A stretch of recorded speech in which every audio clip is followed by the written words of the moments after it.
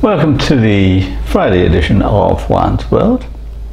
And I'm going to be asking the question today where is home? Uh, that may not seem like a question to unpack Easter with, but we'll get around to that. I'm interested in the concept of home and have been for most of my life, in large part because I've spent most of my life, I guess if I actually calculated it um, properly, it would come out to around 80%, perhaps a little more. Uh, 80% of my life as an immigrant. Uh, I was born in Buenos Aires. My parents were British. Um, I spent almost all of my childhood, uh, up until the mid-teen years, in South Australia as an immigrant. And then I went to school and university briefly in England, total of about eight years. And then I spent something like 40 years as an immigrant in the United States.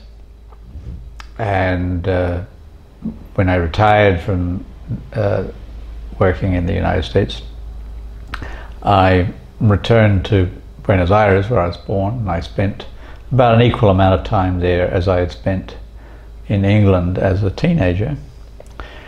And then I went back to traveling the world, uh, to China and um, Italy, Myanmar, uh, Cambodia. And for me, the answer to where is home is kind of simple and complicated. Uh, home is where I happen to live. So right now my home is Cambodia. Uh, is it a spiritual home? No, but it's my home. Anyway, this is a very complicated uh, topic. Uh, I want to get into it in detail, and what I'm going to do at the outset is I'm going to keep talking, but you're going to be seeing me walking around the streets of my neighborhood uh, as I did in a video last week, uh, kind of to balance the concept of where I am versus where my home is. So let's get started on that.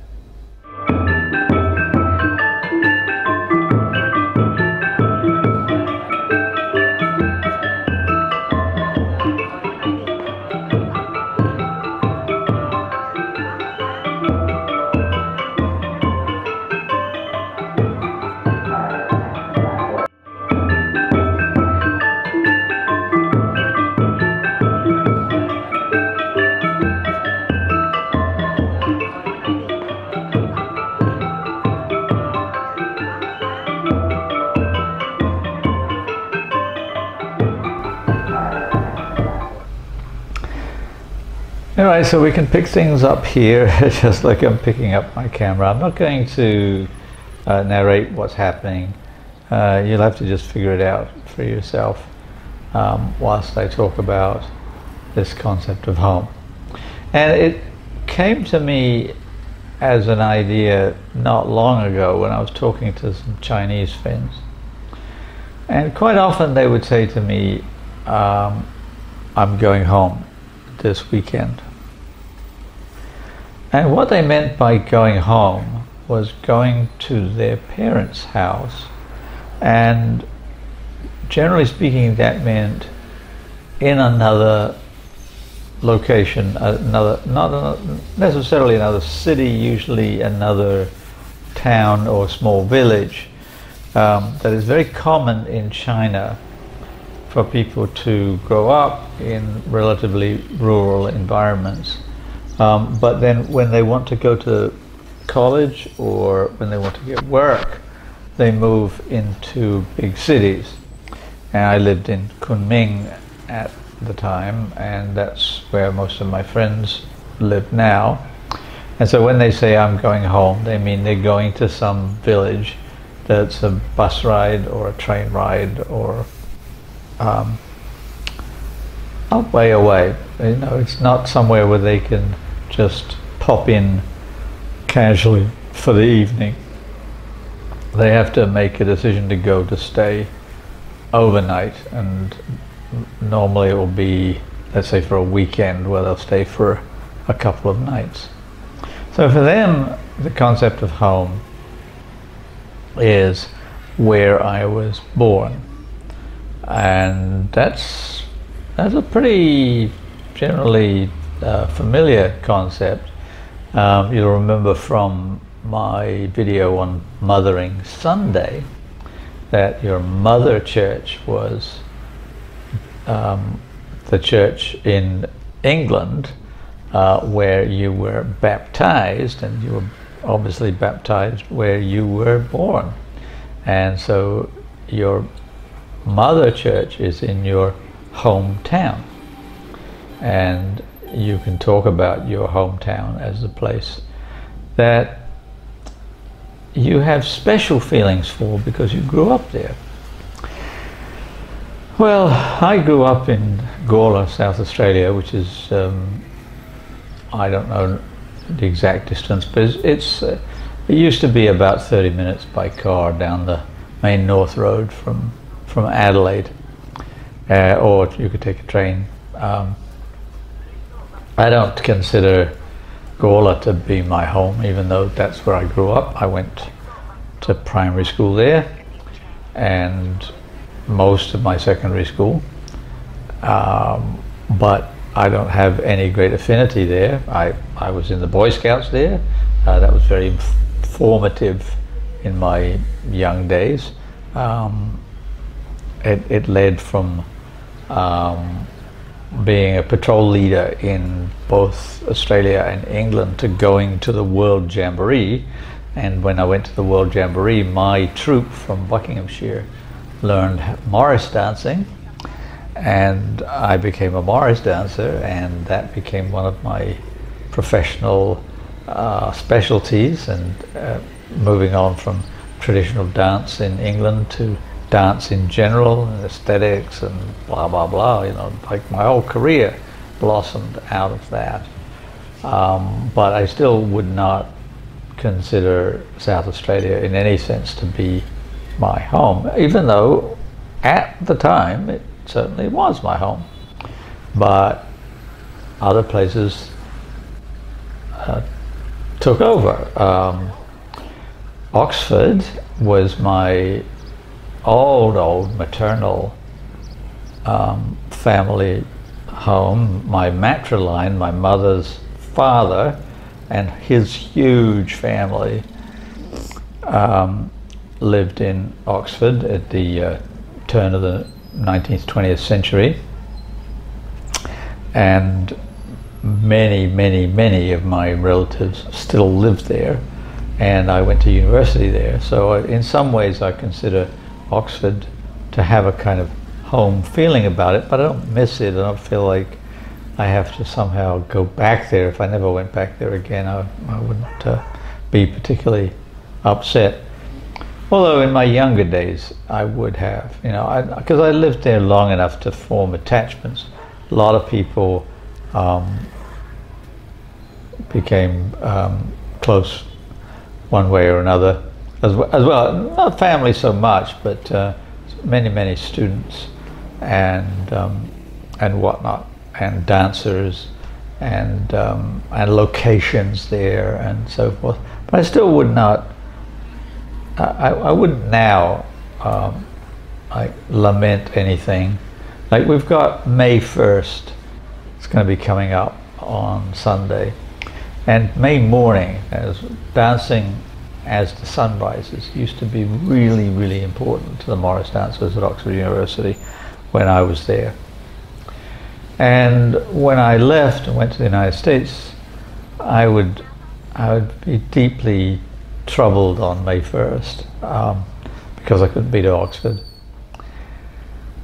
Uh, but I'm over that. I, I, mean, I don't, I don't, I don't miss it anymore uh, because other things have intervened, including the fact that I got married I settled down in um, in the Catskills in New York. Had a son.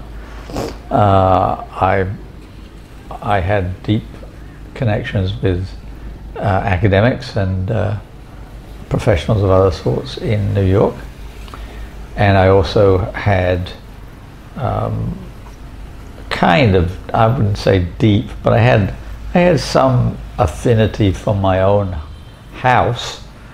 Uh, in Spanish, it's interesting.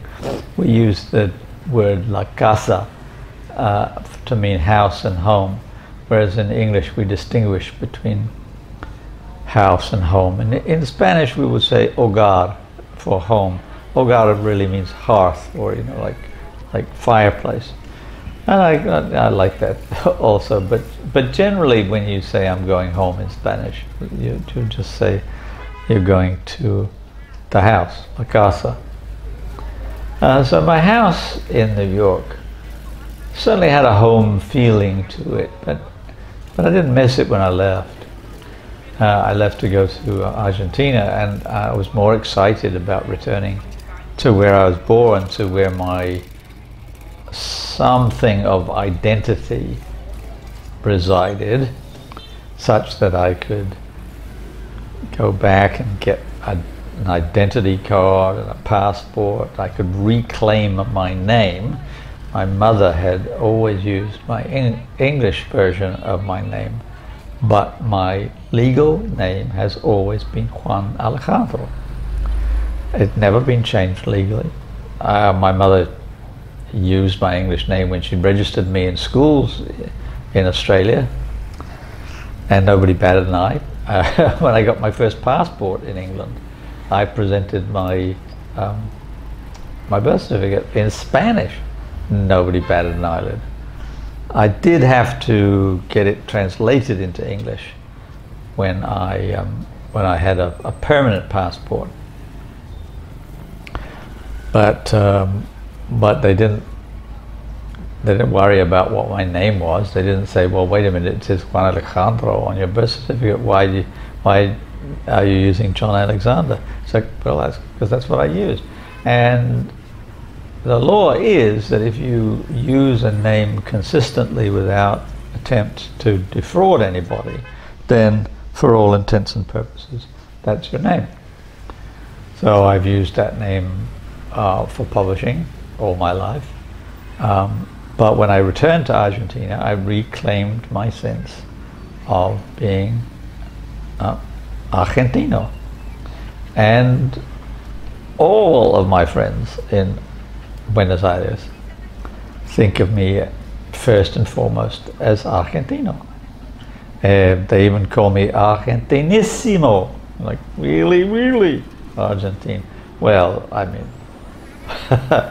I, I don't know how to parse that properly, but Buenos Aires is not my home either.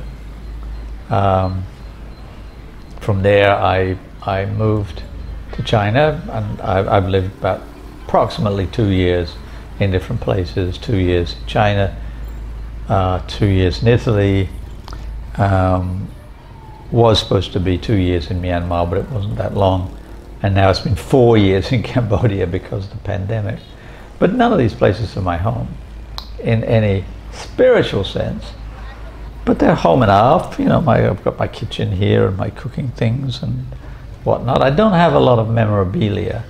I don't have a lot of things that I used to clutter my house up with in New York. All to the good. I don't want clutter. Uh, so it means that for me, home is as much a mental concept as a physical concept. And so what I want to know from you is what do you consider to be your home? Is it where your family lives, where you were born, where you're living now? What is it? What identifies home for you? And the reason I'm actually you know, like belaboring this a little bit is that in the Christian tradition, say, we will get around to Easter at some point here. In Christian tradition, home is identified as the place where you will be with God. And uh, I wrote a, a book which was um, from my dissertation called Lord, I'm Coming Home, which is the name of a, of a hymn in the Baptist tradition.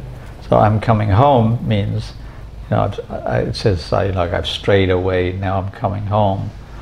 Um, home is not just where the heart is. Home is where God is. Um, so, it, where is your heart? Where where do you belong? Where would you feel comfortable and safe and secure and loved even? Interesting question. So as far as I'm concerned, Phnom Penh does that just fine. I'm happy, secure, healthy. Don't know about loved.